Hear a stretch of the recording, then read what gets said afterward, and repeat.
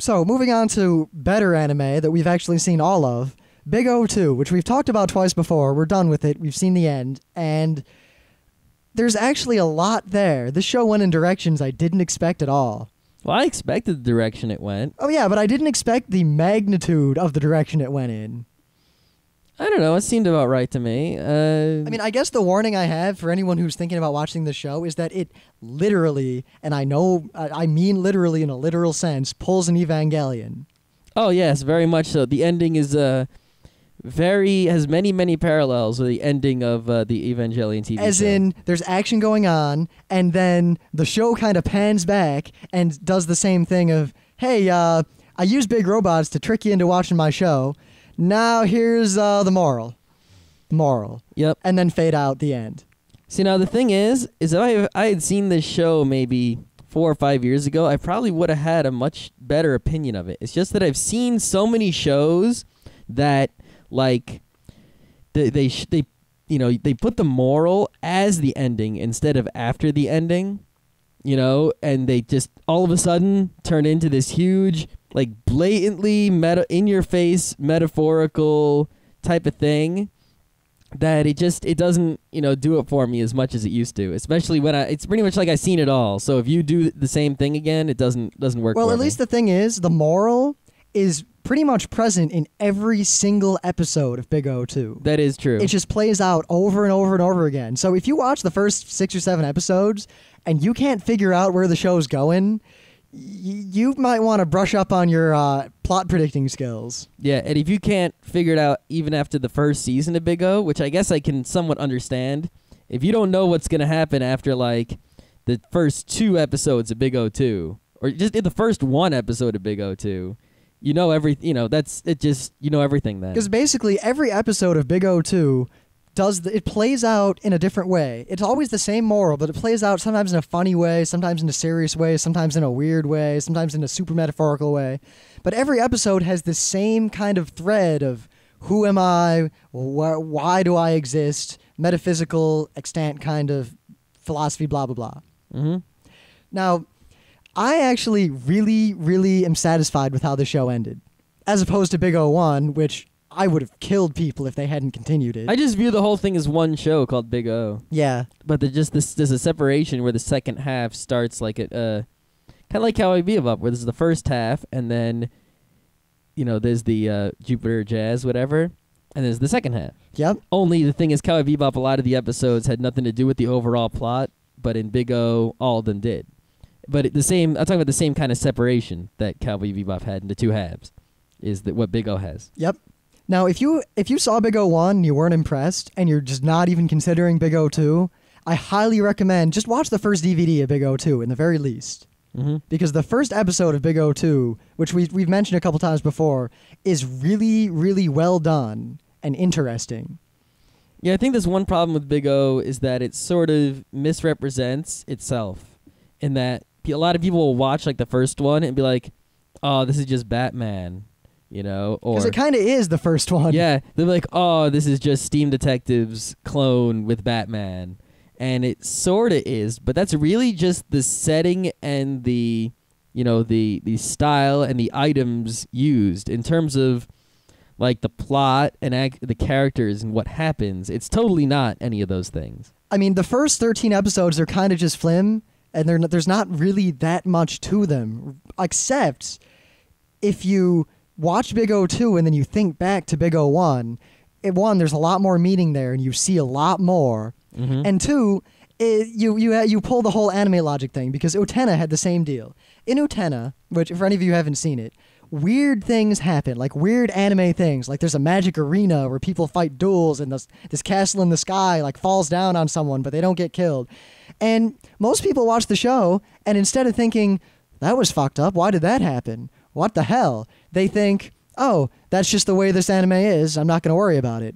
What- And then at the end of Utena, they're like, they explained like, oh, there was a reason. Why didn't I wonder why there's a freaking floating castle in the sky? There's actually a perfectly rational explanation for it. It's one of those things where they make you suspend disbelief by putting the show on as a fantasy or a sci-fi, but in reality, you shouldn't have suspended disbelief, you know, because uh, it was actually real or Yep. something. I mean, the Big O is a very unrealistic robot. It's big and it punches things in ways that you really can't do. So Mhm. think about that. How could that actually be? Because it is in the show, it happens, and they explain it very directly in a very heavily handed way. Yeah, there are a lot of things in the show actually that go completely unex. You know, it's it's weird because they'll always look for a rational explanation for things, and they'll always talk about things in a strange way, and you just you know you think, what the hell are they talking about? You know, what are the rules of the universe this show is in? When the whole time the show is in the same rules as our universe. They're just making you suspend disbelief, you know, and tricking you into doing it when you shouldn't. Yep, Big O One does it really well, but notice even in Big O One, I mean, half the time there's robots fighting, and a quarter of the time there's funny stuff, but a lot of the whole first season, and much of the second season, is just Roger talking to himself. Mm-hmm. Now, a lot of people just kind of gloss over what he's saying because it's just, you know, typical meta, philo- phil- meta philosophy, blah, blah, blah. Oh, but if you really listen to the words he's saying, that's what the whole show's about. And there's actually a lot there. Mm-hmm. Because I'm going to go off on one of my philosophical things because I got a lot out of Big O too. And uh, I guess a spoiler warning I'm going to do my best not to ruin the show, but if you really are worried about Big O 2 being ruined for you, you could probably stop listening at this point because we're not doing any meta bits after we talk about Big O 2. But basically, consider the premise of Big O 2. The premise is that, well, and Big O, 40 years ago, everyone lost their memories, and no one knows what happened in the world before that time. There's no clue. Yet, everyone just got on along with their lives and lived and played whatever roles they decided to play in the new world. And the people who lived the best were the ones who didn't worry about what happened before or what came before because there was really no way to know. Now, that seems kind of weird, you know, you don't know what happened 40 years ago, and it's a very direct problem to these people, and some people can't handle it. But look at our world, the real world, the world we're in right now, meat space. We we have the same issue except it just it's much further into our history. We don't know the history of humanity. Uh, We have a lot of theories, but we really don't know what civilizations were and what happened to them and where people came from and what they did and why we're here now. And but a lot of people don't think about it because it's so long ago that the only people who worry about it are philosophers. Because most people they just think back and they don't really consider the fact that we have no clue where we came from. Well, historians think about it too, yeah. and they thought they actually figured out a lot, but not yes, enough. yes. But like I mean there I mean we know like I'm not saying oh magic creation whatever any of that BS, but definitely there are civilizations that we know almost nothing about other than that they may have existed, like the mm. Mycenae civilization. Cyclopeans. Yes.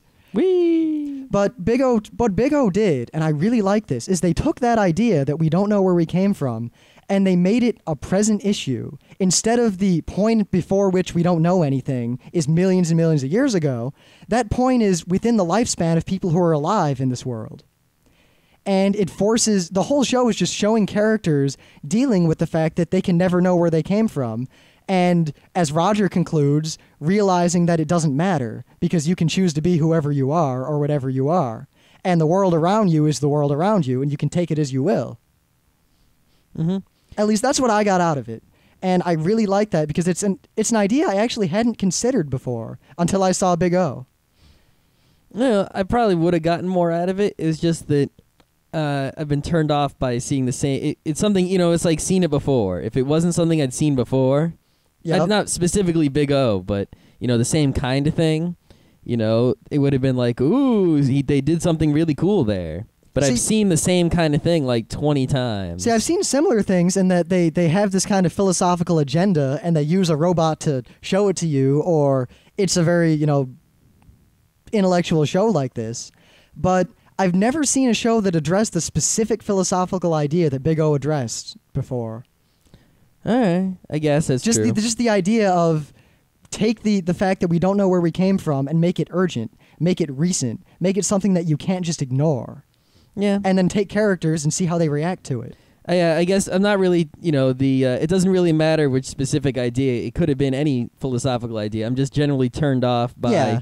you know, philosophical ideas. I definitely see where you're coming from. And if Big O hadn't been the specific idea that it was, if it had been the same idea Eva had, or the same idea Escaflowne had, or if it had been any sort of rehash of an idea that's just been an anime over and over, I probably would have hated Big O too.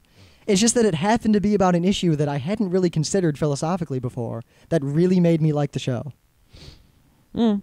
Now, if you were mad about the original ending to Evangelion, don't watch Big O 2. You're going to hate the end. It's the same thing, except no one's going to make a movie to explain what happened. hmm They don't show you what happens physically because it doesn't matter. Just like the end of Eva, the robots fighting didn't matter. All that mattered is what went on in Shinji's head.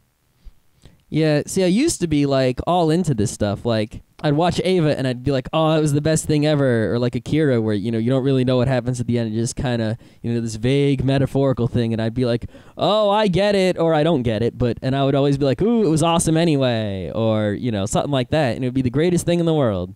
And shows that were just kind of like you know normal, where you see what physically happens and that's that. We're kind of like, "Oh, these aren't as smart as these other shows. They don't do anything for me." But now it's like I've seen I must have seen a hundred shows just like this, where instead of instead of having an ending and then a moral, or an ending with a moral, they have a moral in place of an ending. You know, like they make the ending all woo for fun. You know, and if you go and look at the IMDb top movies list, I don't know if it's still number one, but for the longest freaking time, number one was The Godfather.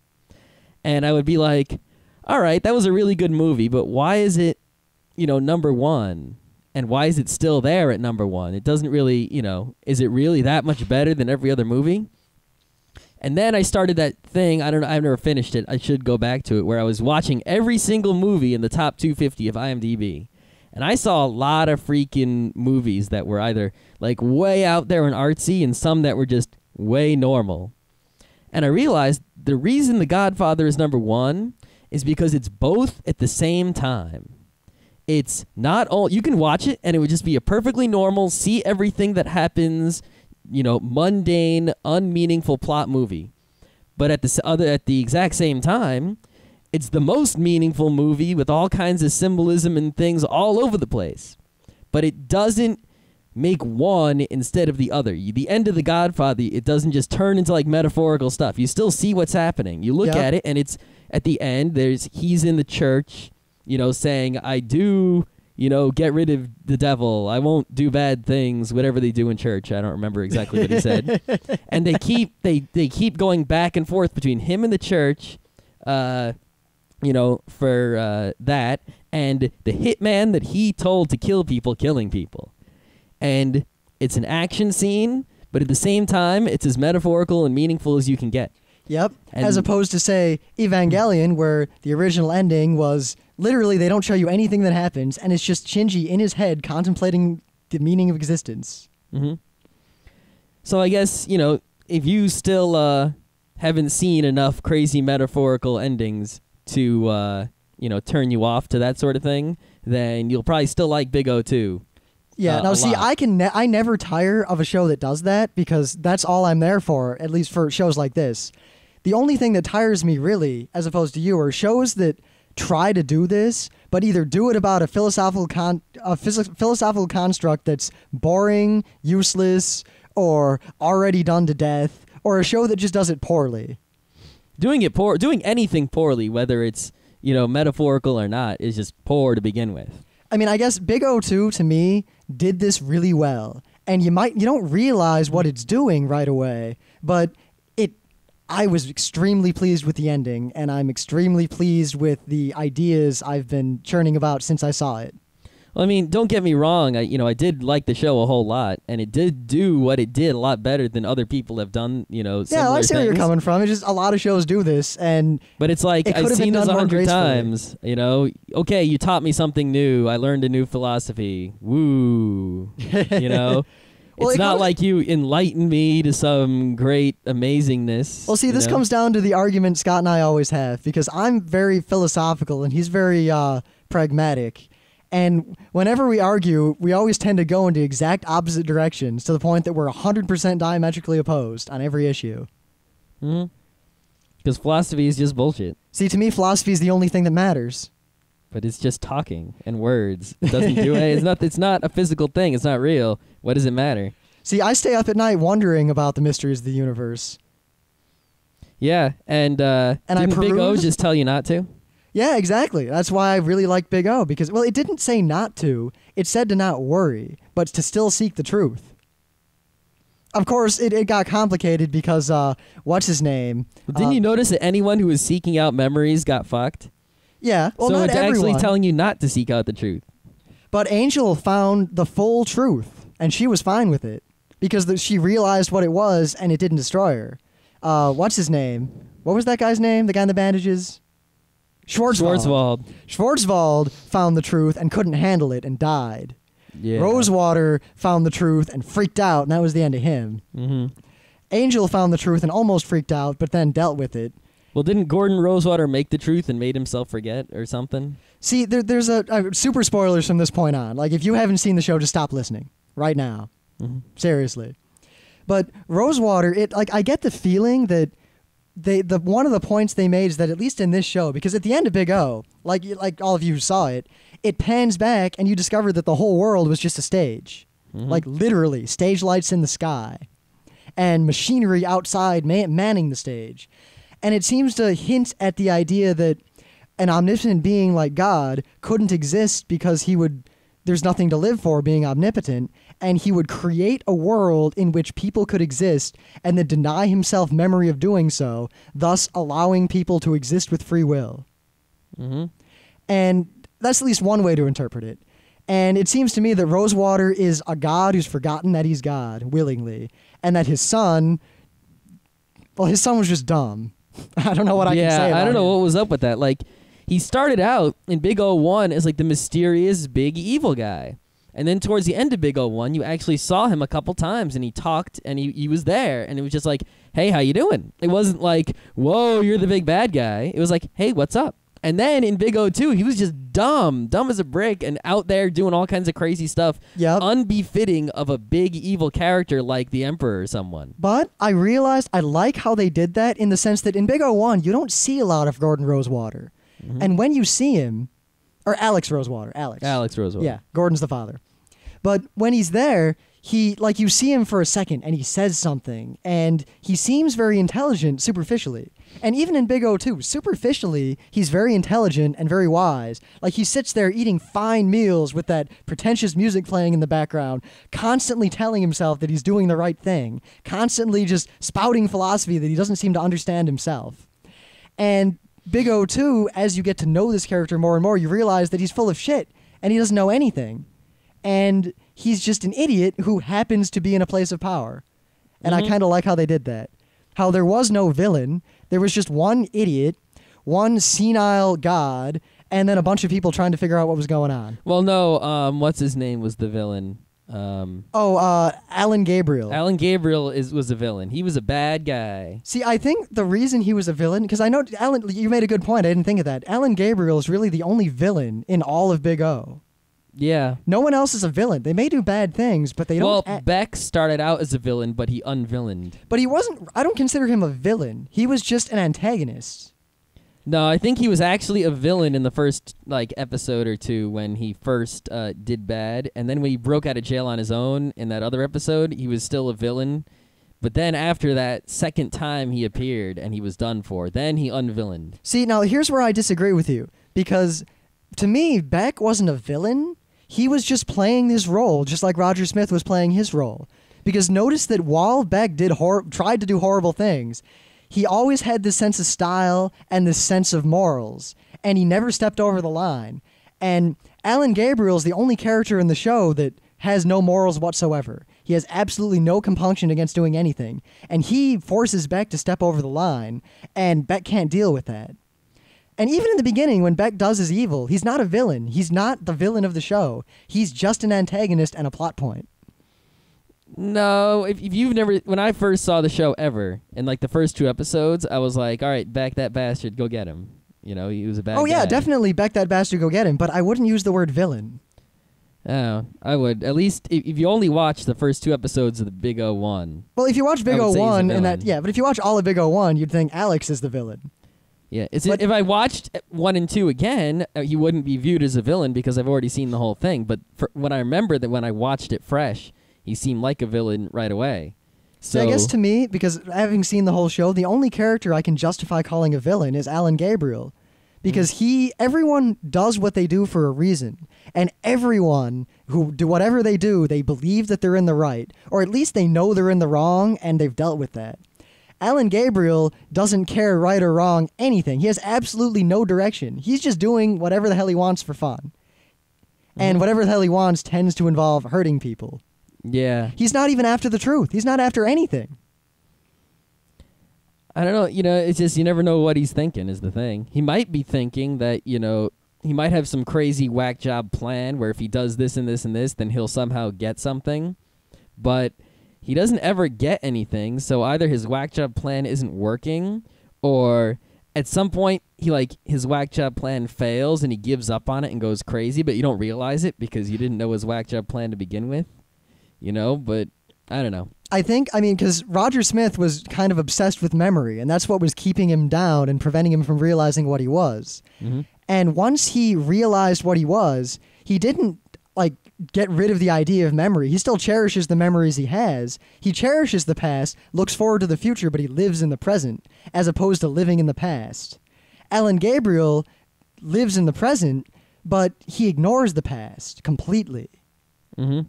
He I, he acts. One moment is completely separate from any other moment in his life. But notice how as Roger uh, like gets better and better and understands what's going on more and more, he it's like when he stops trying to worry about memories, he gets more memories of how to do awesome things with the robot. Yes, the robot is definitely a uh, metaphorical uh, device throughout see, the entire. the, see, that's the good kind of thing is where you have you know the completely mundane action, but you also have the meaning, and it's together in the same thing. Because at you know? first they did that perfectly. Remember when uh, Angel discovered the studio where she'd grown up? Yeah, That was very much the metaphor and mundane plot going on at the same time. hmm And I think if they'd had more episodes and more money, they could have constructed an ending for the whole show that was similar. You know what it is? It's like They took the easy way out. Yeah. You know what it's like? It's like, you know, when you read a book and you read in between the lines, it's not, you know, they don't actually write down what their meaning is. You're just reading a perfectly normal story, but there's a meaning there and you have to extract it by thinking about what you just read.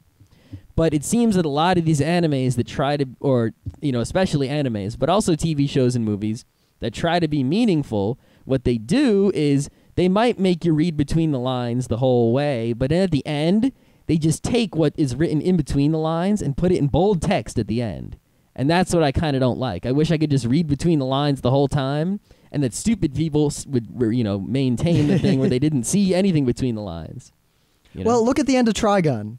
Uh, all right, I'm going to spoil the end of Trigun. So if anyone who is afraid of spoilers but is still listening, I'm spoiling Trigun now too. But I think that did it very well because the the moral, you know, no killing, whatever, because he doesn't kill knives at the end, is there. And if you read between the lines, you can see all the conflict and the fact that he decide he's going to kill knives throughout the entire final fight, and it's not until the very end when he decides not to. But then he doesn't and they don't do a crazy metaphor or whatever. They just show him carrying knives back to town, and that's the end. Yep, that's uh. that's and a if very you if you watch the fight and you watch the expressions on his face, I mean, if you don't notice any of that, you just see an awesome fight, and then the show ends. And if you watch his face and you pay attention to what's going on, you get all that other meaning as well. Mm-hmm. But the show isn't ruined for the people who don't get the metaphor, nor is it ruined for the people who don't care about the action. Mhm. And we've gone on really long about that, so I think that's a good stopping point. All right, sure.